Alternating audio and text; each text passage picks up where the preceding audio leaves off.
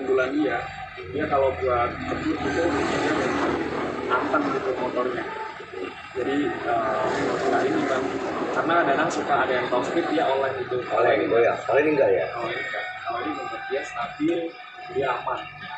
Dan kemarin kita juga udah tes buat hujan-hujanan hujan oh, aman ya? Aman. Walaupun ini listrik ya. listrik ya.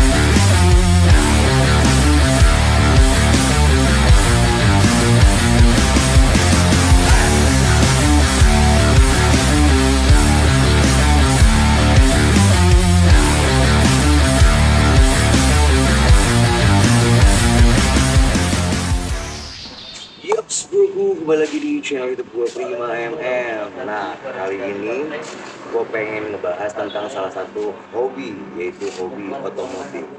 Nah, otomotif ini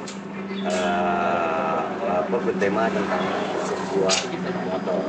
Tapi bukan motor bensin Yang uniknya motor ini adalah motor listrik. Aku sekarang sudah ketemu dengan sahabat gue yaitu dengan Mas Awi ya Mas Awi ini asli dari Pekalongan Pekalongan. Kebetulan kemarin ada turnamen event nih di Pekalongan, event besar. Nah, Mas Devi ini adalah salah satu owner sekaligus sponsor yang ikut meramaikan eventnya Wongso di Mejo.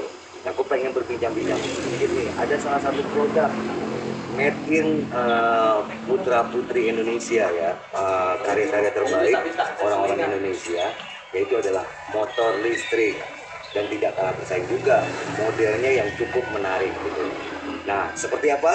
Nah, gue pengen tanya-tanya sedikit langsung nih dengan Mas uh, Awi ya. Mas Awi, ini motor pertama kali gue lihat itu kan kayak motor modifan. Iya, Gue iya. pikir motor modif Iya. gitu pas gue kemarin lagi nunggu apa uh, buat tanding ya. Ternyata motornya ini aslinya, realsnya dari tipe motor Genesis. Genesis, produknya dari Delphic. Ya, tipenya namanya Genesis ya.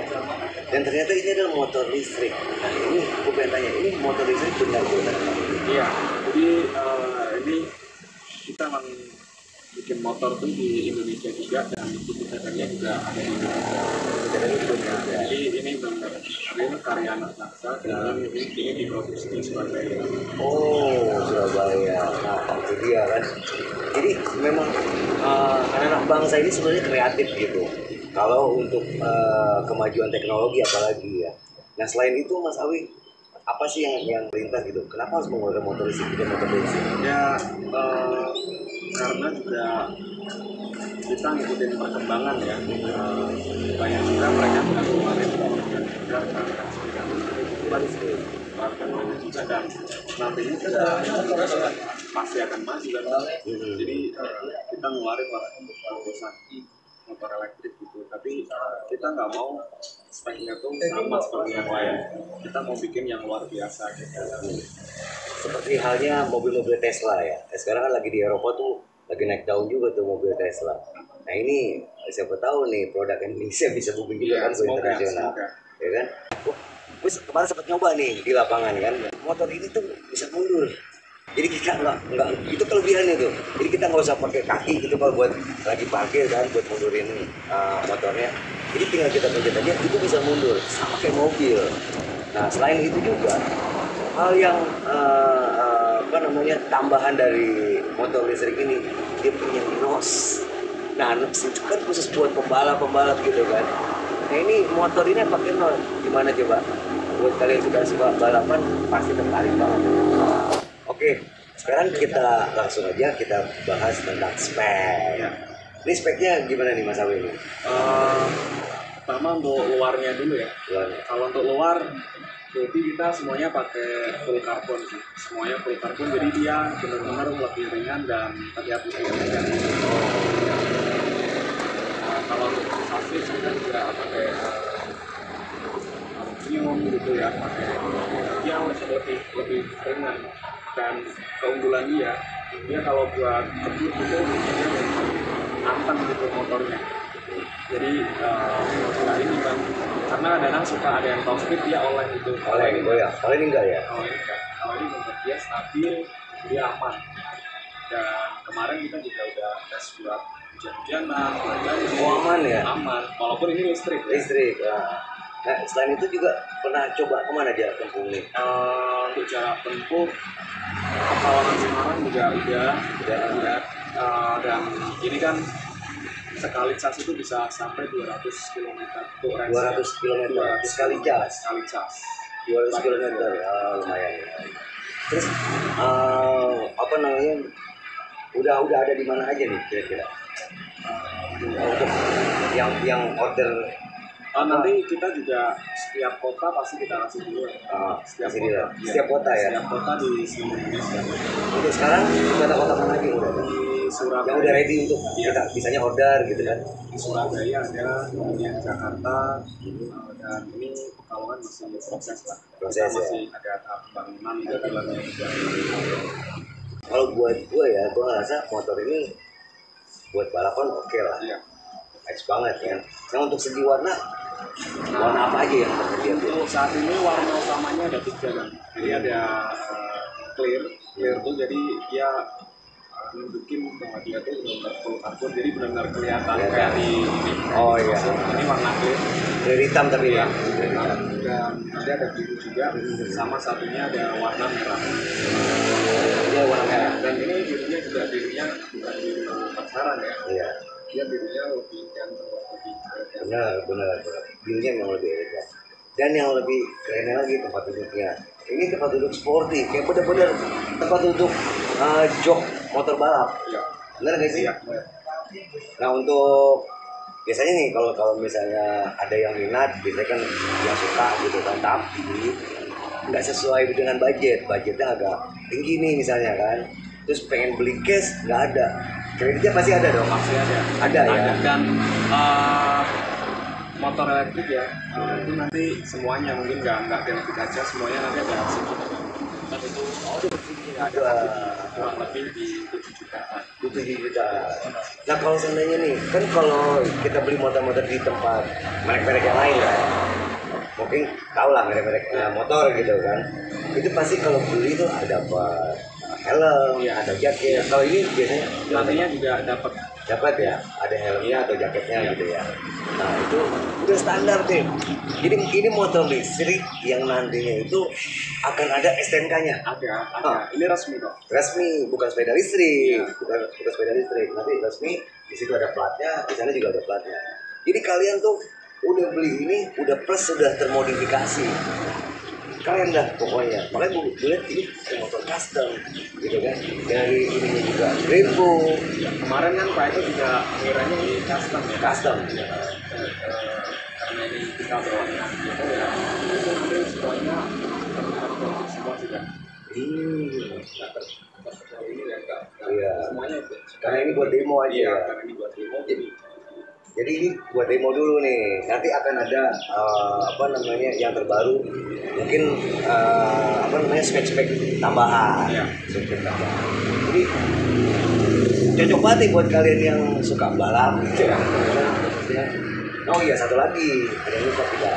Ini ada giginya. ada Ada giginya? sebenarnya bukan gigi sih bang itu Oh, lebih ke? Speed satu speed dua Oh speed. Nah, speed satu, speed dua, speed tiga. habis itu nitros Baru nitro. Jadi kalau kalian pengen yang santai, kalian harus speed satu nih. ya Nah, kalau mau buat santai-santai ya santai. Nanti kalau misalnya mau tambah lagi kecepatannya speed 2. Speed 2 tinggal di klik ke kanan.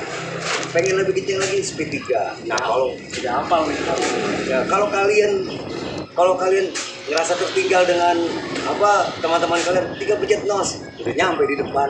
Bener gak sih? Betul betul nah itu aduh gila. Ini motor bener-bener ramah lingkungan. Kenapa nggak berisik. Ya. Itu yang pertama. Nggak berisik pokoknya dibuat buat santai buat refresh. Keren banget. Nah selain itu juga Genesis katanya apa Delphic itu ada produk? Iya, selain ini ada eh, juga ya? Ada. Kita ada Hmm. Uh, Delphic K1000. Delphic apa K1000 K1000. oke yang di sini ya Iya. Itu Delphic K1000 dan ini juga udah launching. Oh ini Delphic K1000 Ini kalau gue lihat cocok nih buat yang Iya. pada punya usaha nih Delphic K1000 Terus eh, ini eh, udah launching juga? Udah. Ini juga elektrik ya. Ini juga elektrik dan uh, istilahnya kita juga pengen lah jadiin buat mereka yang pengen usaha-usaha gitu mau pakai mobil tapi Nggak mampu budgetnya, iya. Mobil kan mahal. Iya ya kan? galon Antar galon, antar gas, Iya. bener, bener, bener, bener, bener. Ini baterainya 60 mahal. Motor power, jarak tempuh 70 kilo, kecepatan 45 kilo. Daya angkut 450 kilo, waduh, udah. Berapa? Fiturnya benar-benar luar biasa. Ini nih ini ini Tosa ya kayak Tosa ya. Oh. Ya, jadi kalian buat yang punya usaha ya kan? Kalian akan ngerasa terbantu nih dengan kayak gitu. Jadi kalian gak usah perlu beli mobil pick up atau apa. Ini kan cukup pakai ini aja. Selain itu nanti pasti ada dong produk-produk baru dari DLP nggak eh, nggak kemungkinan ya kalau ini udah jalan pasti kita ngeluarin uh, Ah. ngeluarin produk lagi pasti ya. sudah jalan sudah dikenal nah gimana tuh bro? Kalian minat gak nih beli motor Delphi? Jadi buat kalian yang suka otak atik oprek-oprek tentang otomotif ya nggak perlu ini lagi sih yang desain aneh-aneh. Langsung aja beli apa Genesisnya Delphi ini. Ini udah udah full modifikasi Gue kira pertama emang ini motor modifikasi, ternyata bukan. Emang realnya udah seperti itu dari sana. Nah itu dia bro tadi obrolan sedikit kita dengan Mas Awi ya. Kita mulai nih Mas Awi motor Delphic ini bisa diterima di masyarakat. ya Ya kan? Khususnya yang Genesis nih. buat anak-anak muda ya yang suka otomotif, suka modifikasi. Listrik